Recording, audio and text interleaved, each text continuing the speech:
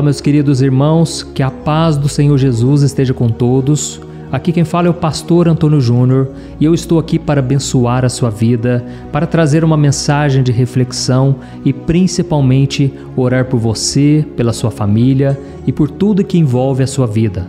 Irmãos, essa mensagem que eu vou trazer aqui hoje vai tirar um peso dos seus ombros, o peso da preocupação e vai te mostrar que Deus é quem cuida de todas as coisas. O Senhor vai falar com você diretamente, ele vai mostrar que é possível viver com o coração em paz, independente das circunstâncias. E eu tenho certeza que você vai ter uma noite de sono muito melhor se você continuar comigo até o final, porque depois nós vamos unir a nossa fé e nós vamos formar uma grande corrente de oração que tem se espalhado por todo o Brasil, fora do Brasil. Eu quero mandar um abraço aqui para todas as pessoas que hoje não moram no Brasil, mas acompanham o meu canal Irmãos, eu tenho recebido tantos testemunhos e isso alegra muito meu coração. E eu quero começar contando um testemunho bem breve, mas antes de começarmos, eu quero muito que você se inscreva aqui no meu canal. Você que ainda não é inscrito, clica no botão inscrever-se, que está bem aqui abaixo do vídeo. Eu vou esperar você clicar e não se esqueça também de ativar o sininho da notificação, tá ok? E você que já é inscrito, você vai reparar que do lado do botão inscrever-se tem também um botão chamado Seja Membro. Se você clicar neste botão, você vai ver que você pode ajudar instituições de caridade apoiadas por mim. Isso mesmo, através de uma pequena contribuição, você pode impactar a vida das pessoas. E graças a Deus nós estamos conseguindo fazer a diferença na vida de milhares de crianças, crianças carentes na África, nas Filipinas, pessoas que têm envolvimento com drogas, pessoas que querem se libertar. E através deste canal de membros você pode fazer a diferença. Amém? Então, irmãos, como eu estava falando com vocês, esta mensagem pode te ajudar bastante a se livrar das preocupações. Isso porque uma preocupação não ajuda em nada a resolver os problemas. Quando nós estamos preocupados e nós não sabemos o que fazer, muitas vezes ficamos abalados, ficamos paralisados e não fazemos nada de produtivo. Os nossos dias vão se prolongando, nós vamos arrastando o nosso dia e de repente, quando nós percebemos, estamos sem fé, frustrados e desanimados. E eu sei, viu, irmãos, que é muito importante nós pensarmos no futuro, mas existe muita coisa que nós não podemos controlar. E quando os problemas vêm, nós chegamos a essa conclusão de que nós não temos controle de nada, não temos controle sobre a nossa própria vida, o que dirá da vida dos outros, não é verdade? Então, em vez de ficarmos preocupados com tudo o que pode acontecer, nós devemos confiar em Deus. E por falar em confiar no Senhor, eu quero dividir com você um testemunho que eu recebi de uma irmã eu fiquei tão feliz, aquilo alegrou o meu coração. E essa mulher chamada Maria José, ela mora no Espírito Santo.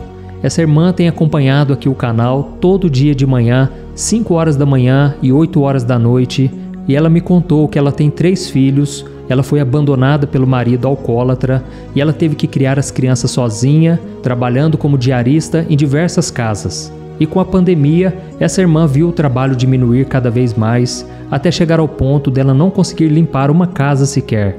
Irmãos, e para dificultar ainda mais a situação, a sua irmã mais velha ficou muito doente e ela precisou de ajuda. E foi então que a Maria José levou a sua irmã para casa para cuidar dela. Só que pensa comigo, ela estava desempregada, com três filhos pequenos e uma irmã doente para alimentar. E foi então que ela não suportou mais. Ela entrou em desespero e ela passou a clamar pela misericórdia do Senhor todos os dias, quando ela levantava e quando ela ia dormir. E numa noite, quando ela estava lendo a Bíblia, Deus falou com ela que iria sustentá-la, assim como sustentou aquela viúva na época do profeta Eliseu. E como ela ajudou aquele homem de Deus, a Bíblia diz que aquela mulher viu um milagre acontecer. As vasilhas que ela ofereceu para o profeta, Deus começou a encher de azeite, e depois que ela teve todas as vasilhas cheias, ela pegou aquele alimento e começou a ganhar dinheiro, de forma que ela conseguiu pagar as contas. E aí a Maria José me contou que ela conseguiu dormir em paz, ela tomou posse daquela palavra, e na manhã seguinte, irmãos, um funcionário do supermercado bateu na sua porta dizendo que ela tinha ganhado um ano de cestas básicas em um sorteio daquele supermercado. Irmãos, é milagre ou não é? Esse é o nosso Deus, irmãos. Um Deus poderoso, um Deus que opera muitas vezes quando nós estamos na maior fraqueza. A Bíblia diz que é na nossa fraqueza que o poder de Deus se aperfeiçoa. Por isso, você que está me ouvindo agora, eu creio que Deus vai te dar a vitória, mas você não pode desanimar agora, tá bom? Não fique pensando da onde vai vir o seu milagre, não fique desesperado, confie no Senhor. E a melhor maneira de você confiar em Deus é você ouvir a palavra, é você orar e principalmente não dar ouvidos às pessoas que te desanimam, que prejudicam a sua fé. Amém? E depois de ouvir o testemunho dessa irmã, eu me lembrei daquele versículo que Jesus disse em Mateus capítulo 6, o versículo 26. Olha o que está escrito: Observem as aves do céu, não semeiam nem colhem, nem armazenam em celeiros. Contudo, o Pai celestial as alimenta. Não tem vocês muito mais valor do que elas? Olha isso, irmãos, é uma coisa tão simples, mas é tão difícil confiar, não é verdade? Principalmente quando a gente está assim sobrecarregado. E eu sei que nem sempre a gente consegue ter toda essa fé. A gente muitas vezes quer ouvir uma palavra e a gente não encontra. A gente passa horas e horas nas redes sociais. Muitas vezes a gente quer algo para preencher o vazio do coração. Irmãos, eu me lembro que alguns anos atrás Deus falou muito forte no meu coração sobre isso, a importância de deixar um alimento espiritual para o seu povo. E foi então que alguns anos atrás eu comecei a escrever um livro chamado Momento com Deus, onde eu trago uma mensagem para cada dia do ano. São mensagens de fé, mensagens de direcionamento, mensagens de esperança e todas elas eu separei por temas. E através deste livro, milhares de pessoas foram abençoadas, eu recebi muitos testemunhos e foi então que Deus tocou no meu coração para escrever um segundo livro chamado Minutos de Paz. E neste livro eu escrevi uma oração para cada dia do ano. Oração para desemprego, oração para receber uma cura, oração para se reconciliar com alguém. Essas orações foram um bálsamo para muita gente, curou muitas feridas e foi então que eu decidi escrever um terceiro livro chamado Minutos de Paz. E nesse livro, diferente dos outros, eu escrevi 100 lições para a pessoa colocar em prática e ter uma vida abençoada. Sabe quando você se pergunta assim: mas o que será que Deus espera de mim? Como eu posso obedecer à Bíblia? Como eu posso fazer a vontade de Deus? E então esse livro tem trazido muita direção para as pessoas, e foi então que veio no meu coração o desejo de que todas as pessoas pudessem ter acesso a esses três livros que eu escrevi. E eu criei então um movimento chamado Jornada da Fé. Eu já tenho anunciado aqui para vocês, porque eu acredito realmente que esses livros podem transformar vidas. Então, se você quiser fazer parte da jornada da fé, é só você clicar no link que está aqui embaixo do vídeo. Eu vou deixar esse link, mas eu quero continuar com você aqui no vídeo, tá bom? Porque nós vamos orar daqui a pouco e eu quero trazer a mensagem de hoje à noite, uma mensagem de reflexão, e depois, no final, você vai clicar neste link aqui embaixo, tá bom? Ou então você vai acessar o site jornadadafé.com.br e lembrando que esses livros são no formato digital, ok? Você vai poder ler aonde você estiver, no horário que você achar melhor, no celular. Você vai ver que é algo muito fácil e que vai te edificar no dia a dia. Amém? Irmãos, eu quero ler com vocês nessa noite uma passagem que está lá em Filipenses, capítulo 4, o versículo 6 e o 7, que diz assim: Não andem ansiosos por coisa alguma, mas em tudo, pela oração e súplicas e com ação de graças, apresentem seus pedidos a Deus. E a paz de Deus, que excede todo o entendimento, guardará os seus corações e as suas mentes em Cristo Jesus. Irmãos, eu já perdi a conta de quantas vezes esse versículo já me ajudou, porque aqui diz que nós não devemos andar ansiosos por nada, e a melhor maneira de não ficarmos ansiosos é entregarmos tudo nas mãos de Deus, e ao final da nossa oração devemos agradecer. Aqui diz que devemos oferecer ações de graças e assim a paz de Deus vai proteger o nosso coração. E uma vez eu vi um testemunho muito impactante que eu quero contar para você agora. Certa vez um homem estava sendo perseguido por bandidos que queriam matá-lo. E aquele homem então começou a correr e ele pegou um atalho que saía da estrada e entrava pelo meio do mato. Só que aquele homem estava desesperado e ele orou da seguinte maneira: Deus, faça com que dois anjos venham do céu e tampem a entrada da trilha, para que os bandidos não me matem. Olha isso, irmãos, essa foi a oração dele. E naquele momento, uma pequena aranha surgiu naquele lugar e ela começou a tecer uma teia na entrada da trilha. Aí aquele homem viu aquele animalzinho minúsculo e ele ficou muito angustiado e ele começou a reclamar com Deus. Senhor, eu te pedi dois anjos, eu não pedi uma aranha. Oh Deus, tem misericórdia de mim. Com a tua mão poderosa, coloca um muro forte na entrada dessa trilha, para que esses homens não possam entrar e me matar. Então, na mesma hora, ele estava com fé e ele abriu seus olhos, esperando ver um muro fechando aquela entrada da trilha. Mas ele só enxergou aquela pequena aranha trabalhando sem parar. E foi então que o desespero aumentou ainda mais e ele começou a ouvir os passos daqueles bandidos que estavam se aproximando. E quando aqueles inimigos chegaram na entrada da trilha, um deles disse assim: Vamos entrar por essa trilha aqui, ó. Mas o outro respondeu: Não, você não está vendo que tem uma teia de aranha aqui? Ou seja, ninguém passou por aqui. Vamos passá-la pelo fundo, ó, porque senão a gente vai perder ele de vista. Irmãos, e por incrível que pareça, aquela pequena aranha, ela fez a diferença. Porque se não fosse aquela aranha trabalhando ali naquela teia, aqueles homens iriam entrar ali e eles poderiam matar aquele homem. Irmão, sabe por que eu estou contando esse testemunho aqui?